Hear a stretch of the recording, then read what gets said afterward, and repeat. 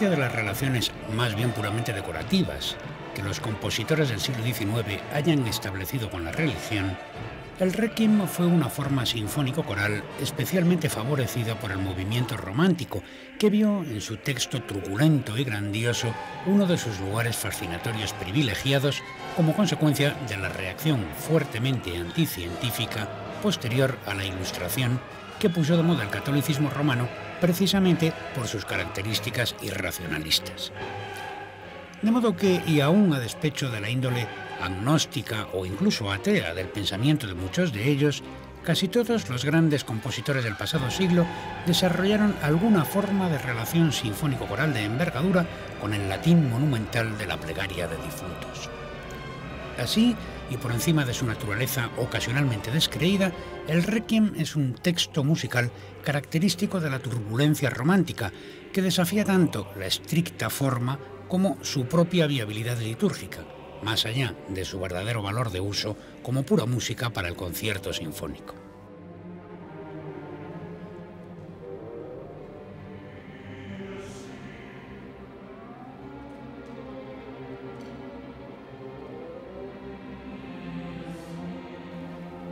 Especialmente afortunado dentro de tal tendencia, el Requiem de Giuseppe Verdi fue estrenado por su autor el 22 de mayo de 1874 en la iglesia de San Marco de Milán, en el primer aniversario de la muerte de Giacomo Manchoni, retomando su vieja idea de utilizar la dimensión espectacular de la música como homenaje común a las glorias nacionales, tal y como lo propusiera infructuosamente en ocasión del óbito de Rossini una década atrás. La obra fue acogida con tal éxito que se repitió tres días más tarde en el Teatro de la Escala, realizándose todavía otras tres ejecuciones más dirigidas por Franco Faccio en la misma semana. El Vaticano, por boca de Pío IX, ya en el motu propio de 1903, desautorizó toda utilización eclesiástica del requiem verdiano, pero sus fragmentos alcanzaron de inmediato una extraordinaria difusión siendo habitual incluso en nuestros días escuchar el confutatis o el ingemisco en recitales de bajos y de tenores. La obra ofrece así una cualidad deliberada de teatro sinfónico, pudiendo afirmarse que con ella Verdi había estrenado triunfalmente su ópera vigésimo quinta, de una popularidad no inferior a la de Aida u Otello, las producciones escénicas entre las que, cronológicamente, el Requiem se sitúa.